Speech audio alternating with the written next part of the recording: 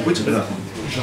Игнату мама говорила, учись прилежнее, сынок, я лишь пятерки приносила, от них огромный в жизни прок.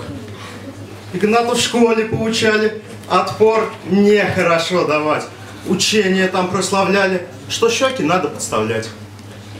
И в подворотне им также твердили, пей, больше кури, так взрослым станешь ты однажды, шпаной гуляя до зари. Родня Игнату говорила, диплом к вершинам поведет, их государство так учило. Старайся лучше и вперед.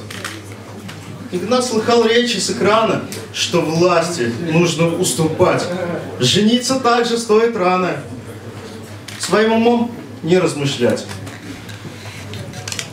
Игнат подрос. Совсем без воли. Стереотипы все впитал. И без хребта. О лучшей воле, о лучшей доле он даже мельком не мечтал. И вот несет куда-то тело, вдруг слышит крики, звук борьбы, трясется, но его задело.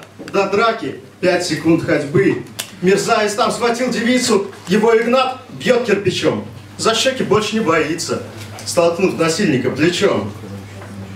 И вот уже он с этой дамой идет, свободно говорит, сгоняя прошлого программы, не веря, что судьбу творит она девчонка неплохая, всегда шла умом своим.